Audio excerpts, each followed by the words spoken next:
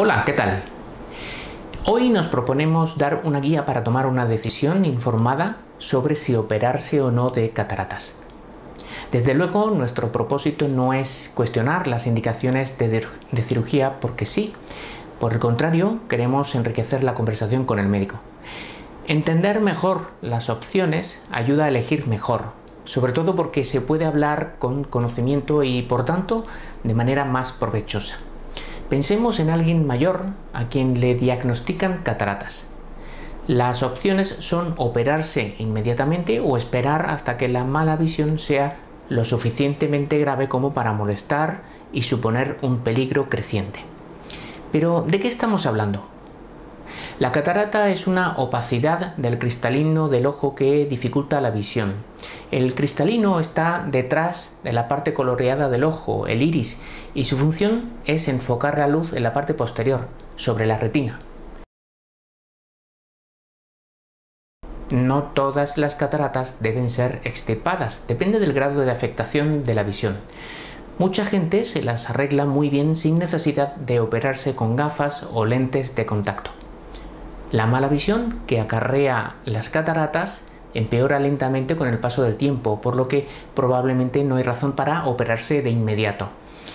La mayoría de quienes se operan ven mejor después de hacerlo. Y por su parte, los problemas graves derivados de la cirugía no son habituales.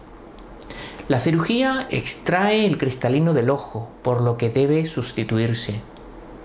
Es posible que después de la operación haya que recurrir a gafas o lentes de contacto para ver bien. Consiste en sustituir el cristalino, que se ha nublado por uno artificial transparente. Hay varios tipos de cirugía posibles, entre ellos están la facoemulsificación, que es el tipo más común de intervención. El médico hace una pequeña incisión en el ojo para poder utilizar una herramienta especial de ultrasonidos para romper el cristalino opaco. A continuación se extraen los pequeños trozos de cristalino y se sustituyen por una lente artificial.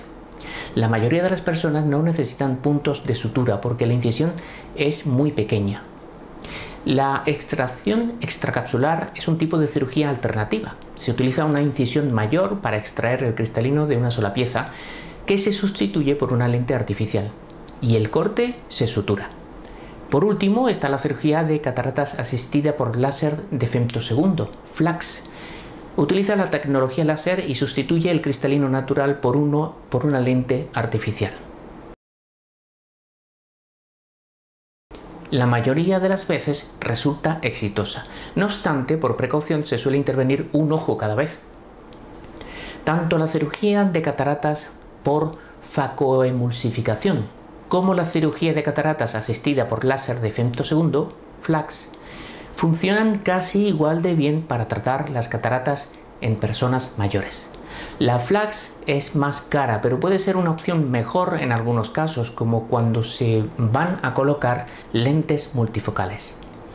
Desde luego, las personas intervenidas no solo suelen mejorar la visión, sino que mejora la movilidad, la autonomía y se libran del miedo a quedarse ciegos y dependientes.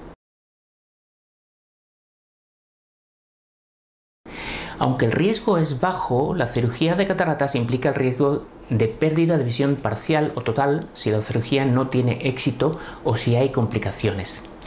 Algunas complicaciones pueden tratarse y revertir la pérdida de visión, pero otras no.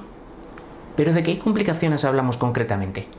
Pues de algunas que pueden darse al poco de la intervención, como desgarro del cristalino, rotura de la cápsula posterior, infección en el ojo, endoftalmitis, hinchazón y acumulación del líquido en el centro de la capa nerviosa, edema macular cistoide, hinchazón de la cubierta transparente del ojo, edema corneal, sangrado de la parte frontal del ojo, ifema, o desprendimiento de la capa nerviosa en la parte posterior del ojo, desprendimiento de retina.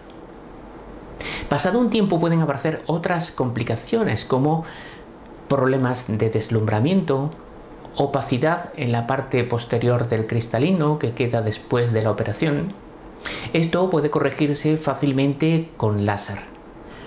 glaucoma, que es una enfermedad caracterizada por el aumento de la presión intraocular, el endurecimiento del globo del ojo y la atrofia del nervio óptico que puede conducir a la ceguera, desprendimiento de retina, astigmatismo, estrabismo o caída del párpado superior llamada tosis.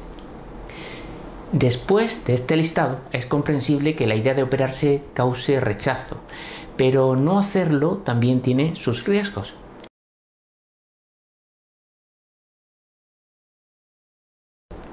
Por lo general, una catarata que no se extirpa empeora lentamente y con ello la vista.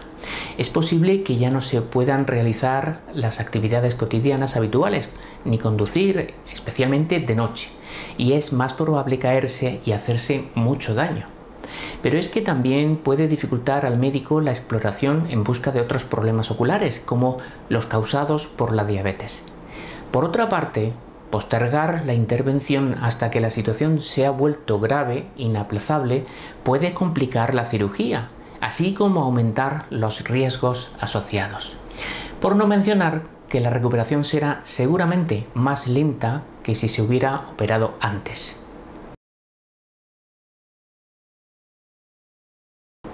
Es más probable que el médico la recomiende cuando la mala visión dificulta mucho o impide llevar una vida acorde al grado de independencia del que se goza. Por decirlo con un ejemplo, si uno deja de andar porque no ve bien y teme tropezar. La operación también redunda en un mejor control de otros problemas oculares como un desprendimiento de retina. En cambio, si se padece glaucoma, retinopatía diabética o degeneración macular, es posible que la cirugía no mejore la vista. ¿Qué cabe esperar de la cirugía? Probablemente se desarrollará estando despierto, se puede sentir presión pero no debería sentir dolor y se vuelve uno a casa en el mismo día si no hay imprevistos. ¿Y si se opta por esperar? Habrá que ir evaluando la evolución y cómo delimitantes se vuelven las cataratas para elegir cuándo intervenirlas si procede. Ah, y habrá que contar con los tiempos propios de las listas de espera, allá donde viva uno, claro. Una cosa es decidirse a pasar por el quirófano y otra tener los dos ojos operados. ¿Cuáles son los beneficios de operarse? Fundamentalmente recuperarse de la mala visión causada por las cataratas, pero también corregir problemas de miopía, hipermetropía o astigmatismo. ¿Qué beneficios tiene esperar? Pues evitar los riesgos de la intervención. ¿Cuáles son los riesgos y efectos adversos de la cirugía? Es posible que se tenga una visión nublada justo después de la operación, pero mejorará a medida que el ojo cure. También cabe contemplar que haya que recurrir al láser unos meses o años después si la visión se nubla nuevamente. Los problemas graves no son frecuentes, pero incluyen los que mencionamos antes, desgarro del cristalino, infección del ojo, hinchazón en el centro de la capa nerviosa o en la córnea, sangrado de la parte frontal del ojo o desprendimiento de retina. Y finalmente es posible que se sigan necesitando gafas o lentes de contacto tras la operación. Por su parte, esperar también comporta riesgos. La vista seguirá empeorando y los riesgos de la intervención aumentando. Difícil decisión, ¿verdad? Hay que andarse con mucho ojo. En fin, espero haber sido útil. Si te ha gustado, por favor, haz que me entere, comenta, comparte, suscríbete, que estamos constantemente buscando información relevante y contrastada para ti. Hay mucho más que está por venir. Muchas gracias y hasta el próximo vídeo.